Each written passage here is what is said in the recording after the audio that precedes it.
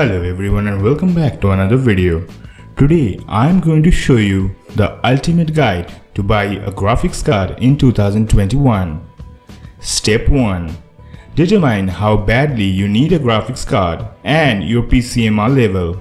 If both parameters are high enough, prepare yourself for the most disappointing set of actions you are going to perform in your life without any bit of success. If you thought getting rejected by your crush was disappointing, or finding out that your wife is cheating on you with your best friend was disheartening, get ready for the bumpiest road ahead. Step number 2. Wait for Nvidia and AMD to announce new graphics cards or look for the bunch of papers they have already launched in the name of new hardware.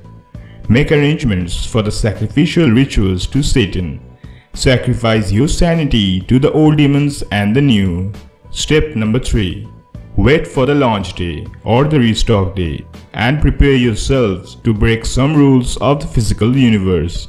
Even if Einstein said nothing can travel faster than light, build yourselves up to move faster than light just to make sure you see the ray traced photons on your next game.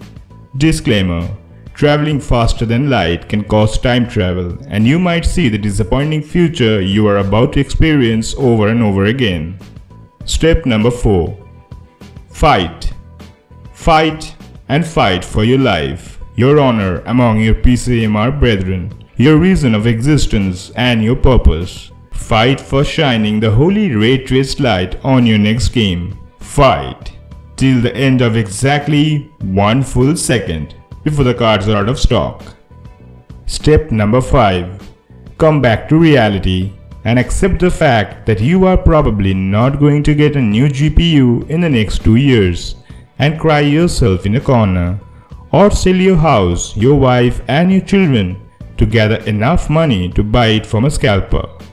Maybe if all things go too well, prepare to kill yourself. Rinse and repeat.